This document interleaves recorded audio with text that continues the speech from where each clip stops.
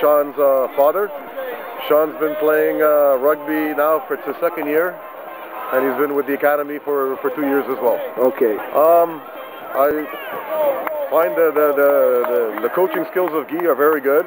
Uh, I've watched uh, the practices, and uh, he emphasizes safety, and he's really teaching the kids the proper ways of playing rugby. So they're getting a good base knowledge out of the 300. That's it, nice slow. I appreciate the work that uh, Guillermo and the 300 Club do because uh, this is just unbelievable. And uh, the kids love it. I know my kids are quitting everything else now. so uh, good job, man. You got to keep this up and get the, keep the ball rolling. Okay. Um, I got uh, Guillermo's literature, his pamphlet, and I said, hey, you know what? So Let's give it a go. And uh, she quit AAA soccer. She played on a select soccer team.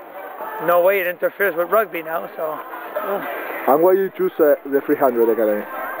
well, you know what? It's like uh, I I don't know. I saw uh, Guillermo a few times at the tournaments last summer, and uh, he's a good guy. You know, it's uh, you know in coaching right now, and there- there's a lot of uh, people maybe that shouldn't be coaching, and uh, Guillermo's a good attitude, and uh, practices are fun and constructive and productive. So hey, hey, it's a, it's an easy choice. It's don't have to. There's no competition. That the more you learn, the less chance you have of getting hurt.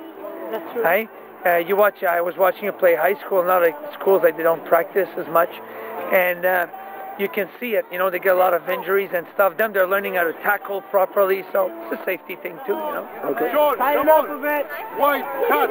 It's too loose here. You're gonna have to tighten up. All right, tighten up, buddy. Viva, sacate foto. This is a pack, baby. Okay, let's say uh, Beaconsfield. Okay? Yeah, hey, One, two, Beaconsfield. three. Beaconsfield. You don't do this in Buenos Aires, huh? no.